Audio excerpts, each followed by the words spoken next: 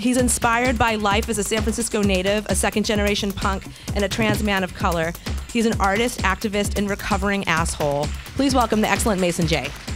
Right now, I'm focusing on kind of, you know, revisiting and like kind of coping with the trauma of growing up in the 90s in San Francisco with a mother who worked um, almost exclusively with queer men of color dying of AIDS. So I'm working through a lot of that now and kind of exploring, you know, how because that was also normalized for me that I didn't really have the chance to, you know, mourn and cope with a lot of the things that happened. So this first piece I'm going to do is uh, called the Dementia Pantoum. I figured, you know, a pantoum would really kind of capture the repetition and just the process of, you know, you know how I just watched grown men turn into like little babies mentally. Okay.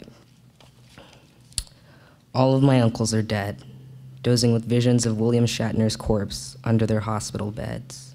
Dementia has twisted each of their lives into a fantasy, made them forget friends, lovers, five year old me. Dozing with visions of William Shatner's corpse under their beds, their bodies withered and tangled, reacting to guinea pig meds, made them forget friends, lovers, five year old me, as I sat next to their hospice beds, reading kids' books about grief their bodies withered and tangled, reacting to guinea pigs' meds. Dementia twisted all of their lives into a fantasy. As they sat next to their hospice beds, reading kids' books about grief, all of my uncles are dead. All right, this next piece is actually just three short haikus. I have, I'm a recovering serial dater, and so the way I've been kind of coping with a lot of my relationships is condensing them as small as I can into haikus, and so beginning, middle, and ends of relationships as summed up by haikus. I don't know why, but it's just been really helpful. All right. One, I whisked you back home to avert my attention from a senseless tryst. Two, amidst loss and lust, we sank into Mission Creek and shared rescue breaths.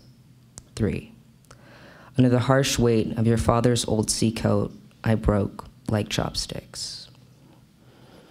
This next piece is a piece that I wrote, uh, I want to say, two years ago because it was for a friend of mine who I'd actually never met in person. Um, as a trans man of color and a queer and a disabled person and just a general weirdo, the internet is like kind of where I live. I have a really strong internet presence. A lot of my friends I've never met in person, and I was really inspired by um, an artist uh, named Mark Aguhar, who uh, you know we lost a few years ago, and their their blog, which you should check out if you haven't already. It's called Call Out Queen uh, was really imperative to a lot of you know the race and gender stuff I was working through at the time, and just to have them disappear was like I don't know, really, really a thing for me. So I wrote this. I think the week they passed away.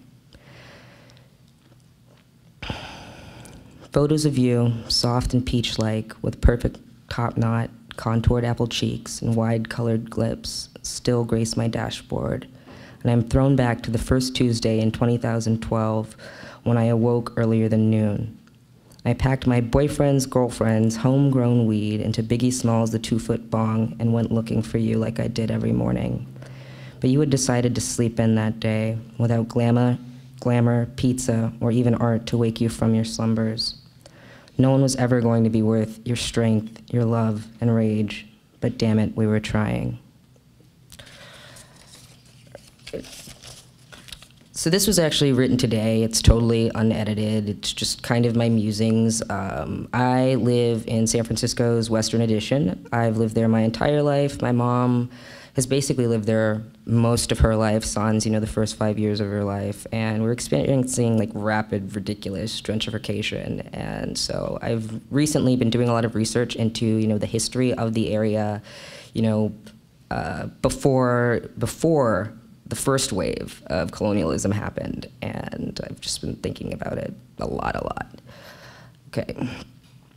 When I was born, I was so small, I had to wear goggles to keep my eyes from falling out of my skull because I wasn't ready to see the world.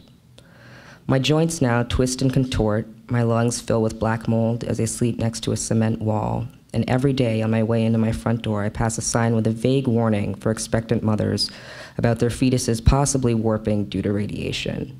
The only place I've ever known shelter is mirroring the state of San Francisco and making me equally unrecognizable and uninhabitable.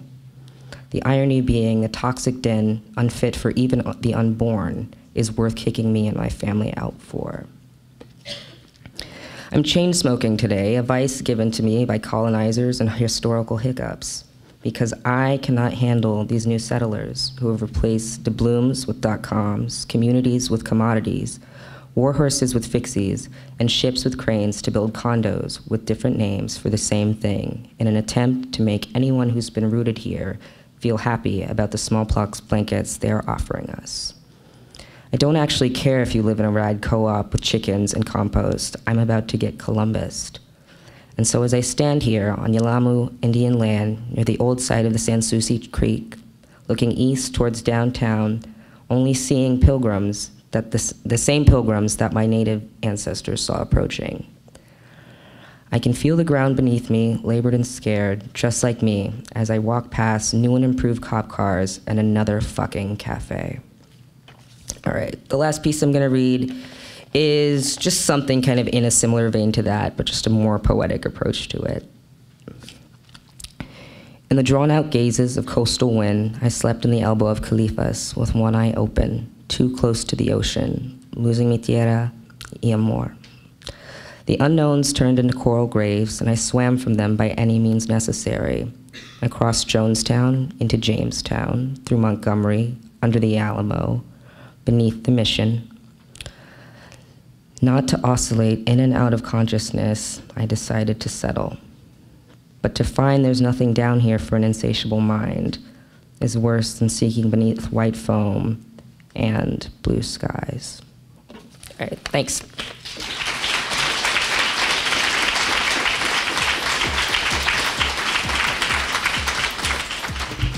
Thank you, Mason J. That was great.